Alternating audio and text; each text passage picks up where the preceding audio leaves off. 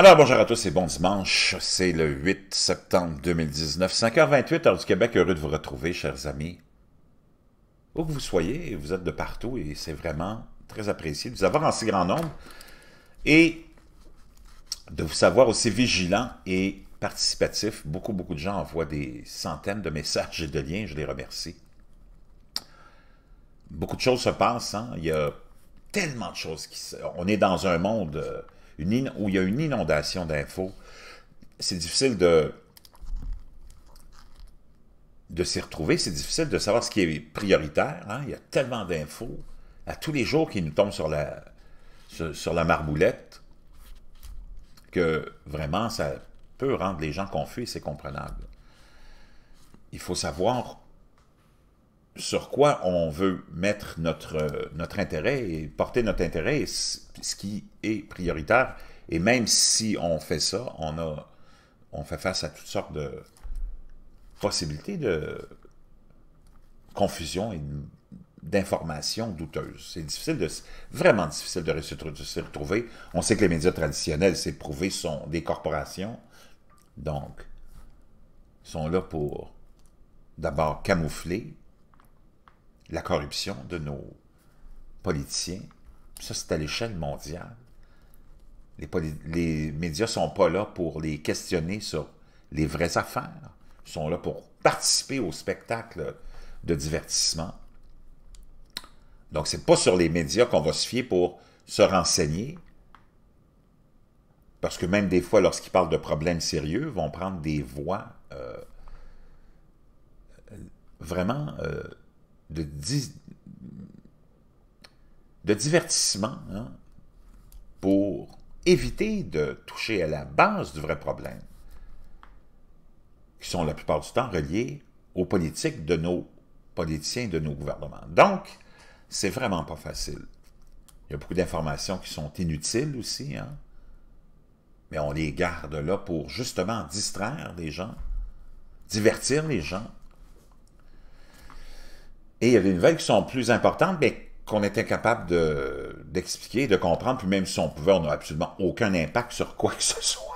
Donc c'est un peu démoralisant, mais il faut garder le moral parce que il faut s'intéresser aux choses, euh, aux choses générales, mais il faut surtout se concentrer sur nous-mêmes et s'arranger pour qu'on puisse naviguer dans tout ça pour être en équilibre et heureux et le plus prospère possible.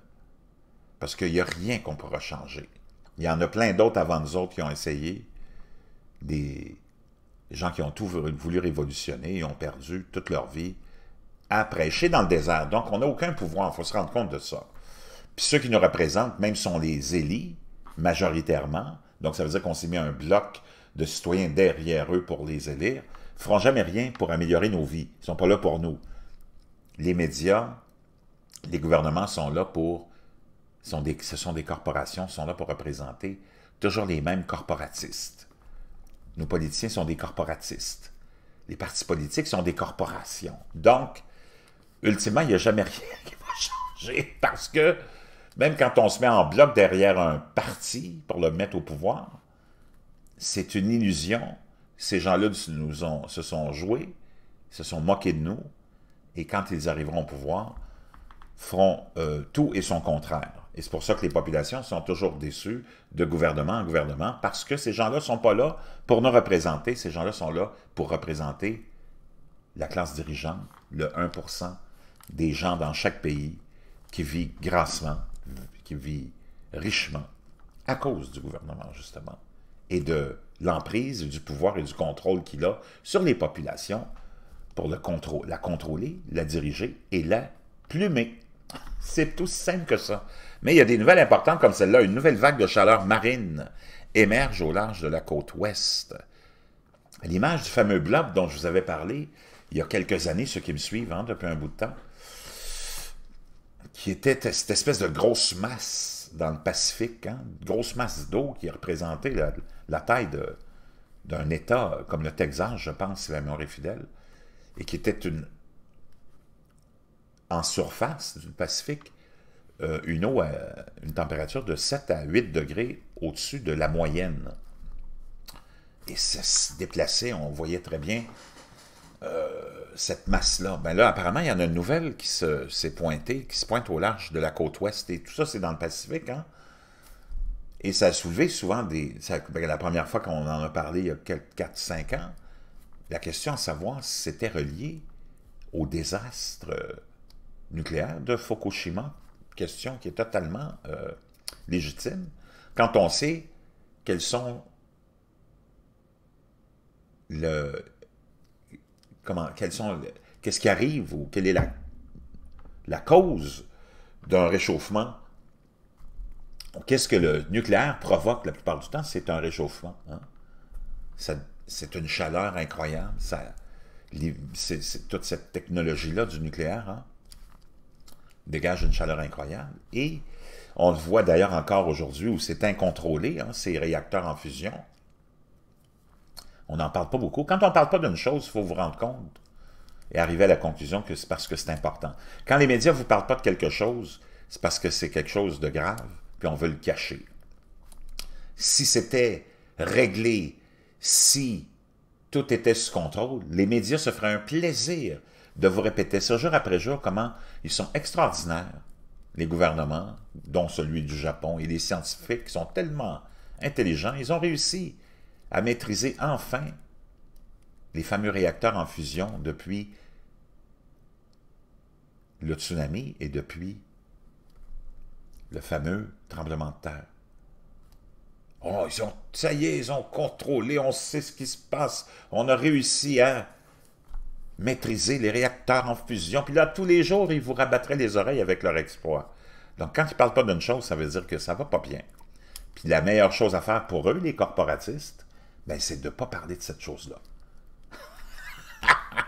Puis quand tu ne parles pas d'une chose comme celle-là, ça laisse place à beaucoup, beaucoup, beaucoup d'idées conspirationnistes, d'exagération des fois. Mais d'autres fois, il y a des gens qui se renseignent et qui te renseignent précisément sur ce qui se passe. Donc, on va aller voir ça ensemble. On va commencer avec la Noah. Avant tout, on va commencer avec la Noah. Hein, les pêcheries, le, secteur pêcherie de la fameuse Noah, que tout le monde connaît. Une nouvelle vague, 5 septembre 2019, OK? Une nouvelle vague de chaleur marine émerge au large de la côte ouest à l'image du fameux blob d'il y a 3 ou 4 ans. Les chercheurs surveillent une nouvelle vague de chaleur marine au large de la côte ouest afin de déterminer ses effets sur l'écosystème marin. Ça, c'est en 2014. On peut voir, donc c'était en 2014, septembre. Septembre 2019. Vous voyez, c'est encore plus majeur. Alaska, Canada, United States. Il y a environ cinq ans, le bloc d'eau euh, de mer chaude a perturbé l'écosystème marin de la côte ouest et nuit au retour des saumons. Maintenant, une nouvelle étendue d'eau exceptionnellement chaude a rapidement augmenté de la même manière dans le même secteur pour atteindre à peu près la même taille. L'étendue chaleureuse de la côte ouest s'étend de l'Alaska au sud de la Californie. Il s'agit de la deuxième vague de chaleur marine en termes de superficie dans le nord de l'océan Pacifique au cours des 40 dernières années.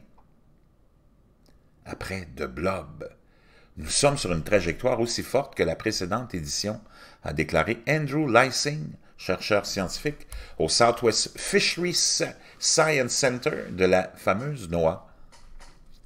La fishery à la Jolla, en Californie. Il a développé un système de suivi et de mesure des vagues de chaleur dans l'océan Pacifique à l'aide de données satellitaires. Déjà à lui seul, c'est l'un des événements les plus significatifs que nous ayons vus. L'eau froide jaillissant des profondeurs océaniques le long de la côte a jusqu'ici maintenu ou oui, maintenu l'étendue chaude au large, a-t-il déclaré. Cependant, les remontées provoquées par les vents côtiers diminuent généralement à l'automne. La vague de chaleur pourrait alors se déplacer à terre et affecter les températures côtières, a-t-il déclaré. Cela semble s'être déjà produit le long de la côte de Washington. Noah Fishery, ou les pêcheries hein, de la noix, concentre sa surveillance supplémentaire sur la nouvelle vague de chaleur désignée comme la vague de chaleur marine du nord-ouest du Pacifique de 2019. Les centres scientifiques de la pêche de la NOAA pour le sud-ouest et le nord-est, ou nord-ouest, pardon, nord-ouest, fourniront aux gestionnaires de la pêche et autres des informations sur la manière dont les conditions inhabituellement chaudes pourraient affecter l'écosystème marin et les poissons des stocks. Les poissons, euh, et les stocks de poissons. La traduction est un peu boiteuse.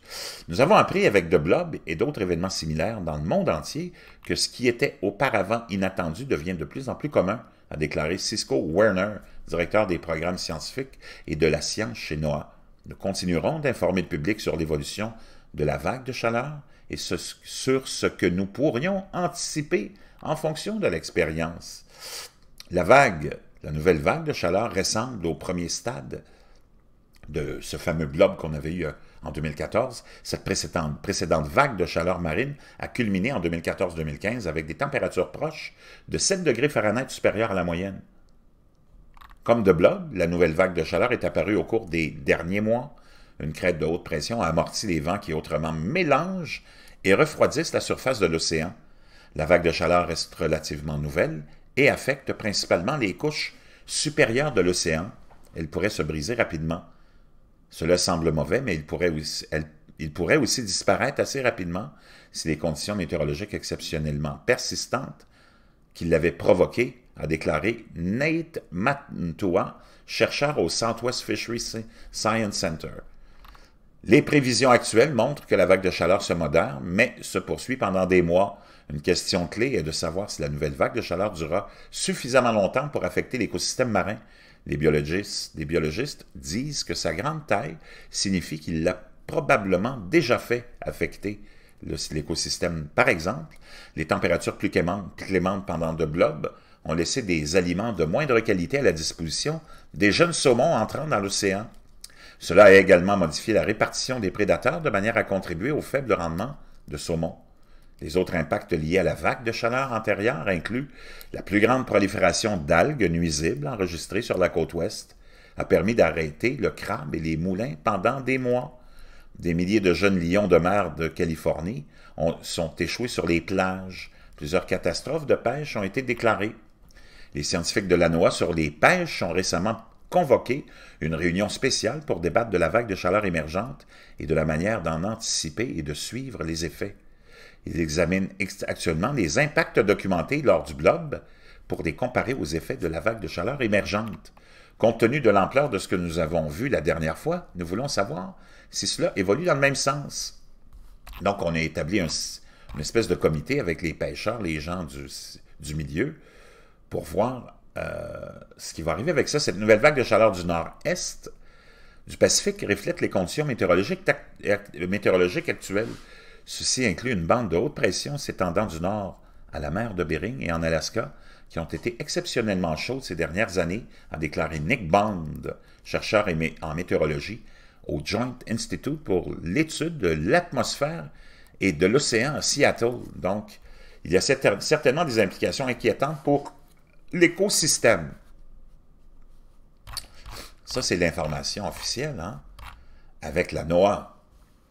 Maintenant, j'ai fait un peu de recherche, puis je suis tombé sur, quelque chose d'assez intéressant. C'est le blog de Magia. Je suis rentré de voyage, ou d'un voyage de vacances à San Diego, il y a quelques jours, et je n'étais pas allé à San Diego depuis l'été 2011. Veuillez consulter mon article sur l'état des bassins amarrés cette année-là à Wind et à Sea Beach, à la Jolia, la fameuse, c'est le même euh, secteur, dont on nous parle dans l'article de la NOAA. Donc, j'ai visité euh, la crique de la Jolia avec ma famille cette année, ou à 2000 au nord de Wind and Sea. L'eau de la Jolia Cove était très chaude, à 79 degrés à la Jolia Cove. Je ne me souviens pas qu'il ait fait si chaud dans les années 83-89 et les visites estivales suivantes, presque tous les ans, jusqu'à ma dernière visite en 2011. Le blob a enveloppé la Jolia Cove, mais la région semblait être pleine de vie. J'ai vu un bébé galucha et mon fils, il y a vu, un homard de Californie. La crique était épaisse de poissons et d'otaries. Les lions du, euh, les phoques lions nageaient aux côtés des habitants de la baie. Une situation qui, je le doute, était saine pour les deux espèces, bien que les relations entre les deux semblaient très tendues. Nous avons visité l'aquarium Scripps à la Jolia, organisé par US, UCSD, euh, et j'ai posé des questions sur les échouages de lions de mer. L'employé à qui j'ai parlé a déclaré que les otaries juvéniles et adultes restaient échoués à des niveaux élevés, avec plus de 200 otaries bloquées, traitées pour malnutrition ce printemps. Ici, on est en 2016, OK? Donc, on parle du premier blob. Fukushima Daiichi, le blob, et la vie côtière du Pacifique. On parle du premier événement. Hein? Donc, 200 otaries bloquées, euh, traitées pour malnutrition ce printemps. Elle a dit que SeaWorld avait pris les devants dans la réhabilitation et la réintroduction. Cette tendance des échouages d'otaries a commencé en 2011, ainsi que d'autres impacts négatifs importants sur la vie marine, documentés par la NOAA, que j'ai décrit dans la monographie de mon livre. Qu'est-ce que tout cela veut dire? La dégradation de l'océan s'était rapidement accélérée avant Fukushima. L'océan Atlantique avait déjà été décrit comme souffrant de l'effondrement des pêches et le Pacifique était en péril. Il ne fait aucun doute que Fukushima a contaminé l'océan et continue de le faire au moment où j'écris ce billet. L'accident de Fukushima Daiichi a été décrit comme un assaut sans précédent de radiocésium et de radiotroncium, d'iode radioactif et etc. Cela a commencé en 2011 et n'a pas cessé en 2016. J'ai documenté ces fuites dans mes livres et sur ce blog. Nous savons pertinemment que les retombées atmosphériques de Fukushima se sont principalement produites au-dessus de l'océan, bien que nous ayons également des preuves de contamination par le radiocésium et l'iode 131 à Hawaï et dans l'Ouest américain, respectivement, à partir de données recueillies par des chercheurs de l'Université d'Hawaï et du US Geological Survey, la fameuse USGS. Par exemple, Trista McKenzie et Henrietta euh, Doulé de l'Université d'Hawaï à, Manoa ont constaté que le césium dérivé de Fukushima était présent dans les champignons et dans le sol et que les stocks de sol allaient de 2,2 à 60,9 euh, les becquerels, je pense, euh, pour le, fameux CS-137 et de 16,1 à 445 pour le 1131 ils ont également constaté que les stocks de césium dans les sols dérivés de Fukushima étaient corrélés au euh, gradient de précipitation. La contamination radioactive à Hawaï en Amérique du Nord est arrivée d'abord sous la pluie en 2011. Les retombées radioactives des émissions atmosphériques de Fukushima ont été détectées dans, euh, Kelp, dans le Kelp en Californie du Sud en 2011. Les particules radioactives ont également été transportées par les courants océaniques et à travers les dispersions des flots euh, de, la flore et de la faune contaminée par eux. Par exemple, des chercheurs américains du sud de la Californie ont capturé un thon contaminé par des traces de radiocésium de Fukushima. Selon un groupe de chercheurs, un panache d'eau radioactif est arrivé dans le sud de la Californie en 2011. Donc, je le sais, moi je connais rien, je suis pas un scientifique, je fais des recherches comme vous, puis on essaye de, hein, de relier les points qui sont partout. Ben, il y a des points qui semblent être euh, reliés, hein, et qui semblent être euh, directement euh,